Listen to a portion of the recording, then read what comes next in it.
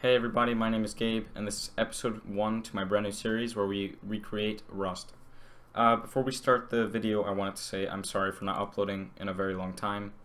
Uh, I've been very occupied with things. Uh, from now on, I will be making a video or two uh, every single day. So, on that note, uh, let's begin. Uh, also, um, it says that I have the free version of Unity, and I don't know why. I think it says I've like registered too many times or something. I don't know. I'm gonna we're gonna hash that out.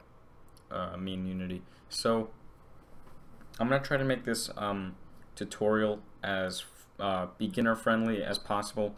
You are gonna need to know some of the basic things like how to use the actual interface of Unity, and what that means is like you know you know how to do everything in the scene, uh, scene game, blah blah blah. You know all that good stuff. So uh, I'm actually going to start off by making a new folder and I'm going to call this, uh, I don't know, we're going to call this one scripts. Okay, so I fixed that uh, problem that I was having. Uh, so just make that um, that scripts folder. We're going to be putting all our scripts in here. Um, we are going to import the uh, basic player uh, controller for um, from Unity, just for now.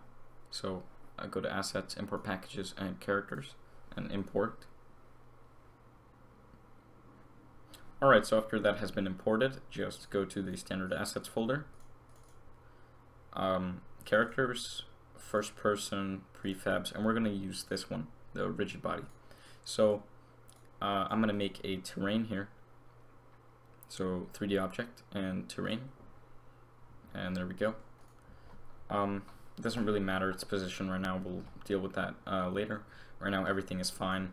It's all good. Um, we'll find a grass texture in a second because I don't really like this uh, pure white. Oh, sorry about that. Um, so just drag in your rigid body uh, player controller and we're going to lift them up a little bit um, higher than the terrain. So now if we hit play, everything should work perfectly fine. And it does, okay. So we do have a problem. That's because we need to delete the main camera. And I'm also going to make a folder called scenes and save this scene as just game. Doesn't really matter yet. Okay, so everything uh, looks uh, everything looks fine. Uh, okay, so I'm gonna go get a grass texture really quick for a placeholder, and I'll be right back. Okay, so after you um, import your grass texture into Unity, just I'm just gonna call this grass grass uh, texture, and 2048, or actually we'll do we'll do 1024, uh, 16 bits for now, and just apply. Okay, so that should be good. You can't exactly drag that on there. So we're going to go here to textures, add a texture, add texture, and drag this in here. Add. Uh, that looks a little big, so we're going to, or a little pixelated, if you will. So I'm going to edit this, maybe 5 by 5 Yeah, 5 by 5 looks good.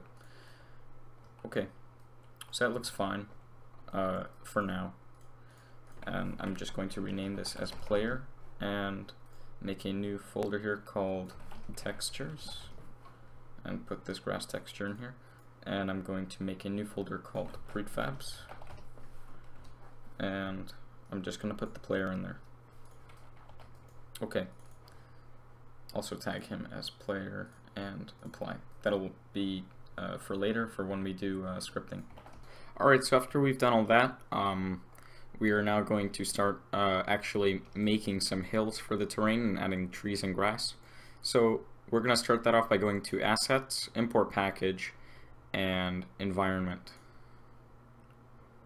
Alright, so after you've imported uh, the environment package, just go to uh, Standard Assets, Environment, Speed Tree, and select Conifer. And now we have that open down there. So we're going to go to terrain and we're going to start making some uh, some hills. So just select paint height. Uh, maybe that's oh, that's pretty good actually. Okay, so brush size, I'll just leave that 100. Opacity 50. Height will just go 5.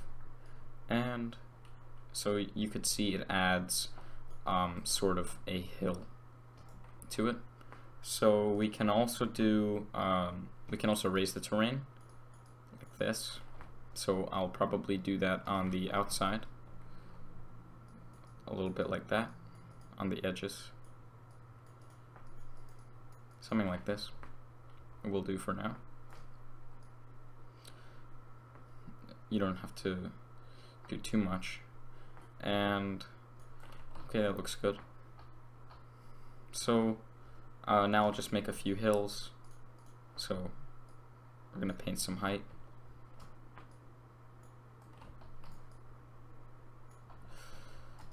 Okay. Now if we take our smooth height, we can actually go around the edges and smooth out the um, the edges of the terrain. As you can see, it looks over here, it's a little uh, rough, so we're just going to smooth that out. And as you can see, it's all fine now. You might like that, I'm not sure. Um, if you do, it's fine. Uh, you could keep it that way. You can lower the opacity of the smooth brush, and you can change the brush type. So you can see it, it can give it some pattern when you do smooth it out. I like to just keep it regular, uh, fuzzy, smooth. Okay, so I think that's pretty good actually. So if you hold, what was it?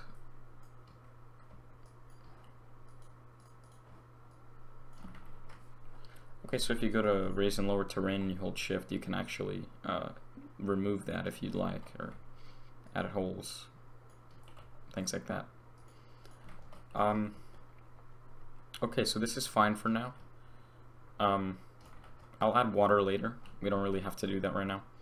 So uh, right now, let's just add some grass.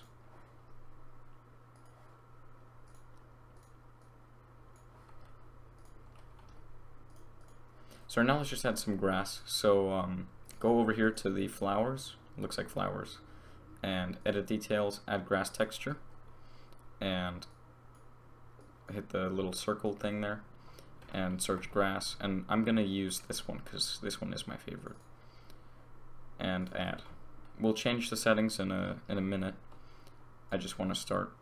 So hold left click, it should create grass, and the reason you couldn't see now the reason you couldn't see that was because our um, our detail distance was uh, too close. So I'm just going to make that max for now and go back to the grass tool and I'm just going to make grass. Instead of doing that I'm actually going to make a okay that's actually the biggest brush. How about that?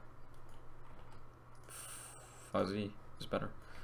And let's see maybe less target strength. Yeah, that's good. Something like that. Okay, so I'm just going to start um, making grass here.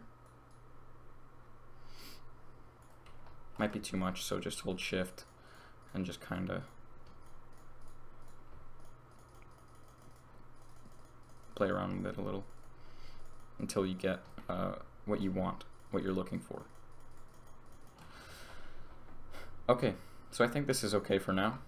Uh, I don't think we're going to have to change the grass settings for uh, right now. We'll do that later. Um, as you can see, it has a randomized height of the grass, so it looks very cool. Um, it has different uh, vegetation color. Really nice, uh, really good stuff. So if we go to trees, we're going to add trees now. And the tree is called conifer, so we can actually just uh, drag that in there and add. If we left click, it'll add a bunch of them. And I think this is a, it's actually perfect. Maybe a few more there. Yeah. Okay. And you can hold shift and uh, remove. I don't know why is the brush so big. You can change the settings how you want, the tree density, the height of the trees, which is random. As you can see, not every tree is the same height, which is very cool. they're all unique. So uh, I'm just gonna remove some trees over here. We'll add water here, so this hill would basically be like uh, the part of the land. Okay, so that's enough trees for now. Um, I'm gonna move my player because he's not in the right spot over to this hill. Okay, so if you hit play, oh that was bad.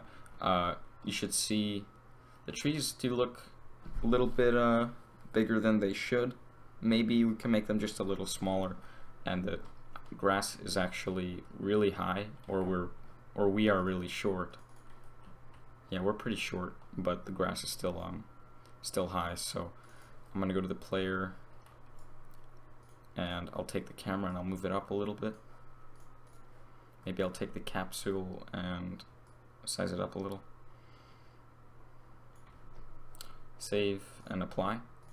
I'm also going to lower the player a little bit. Doesn't really matter. Unless we have fall damage, which we don't at the moment. Okay, so it looks a little bit more, uh, uh, feels better, more realistic. Um, the trees do have collision, the prefab that comes uh, with this by default. And yeah, okay. So this is pretty good, I think, uh, for now. Uh, obviously, in future episodes, we're going to uh, we're going to do a lot with this because this is um, just the same tree. We'll have uh, a lot more variation. Um, next episode, I think we're going to start doing a little bit of uh, programming, and we might play around with some image effects in episode three. So stay tuned for that. Uh, thank you so much for watching, and have a good one.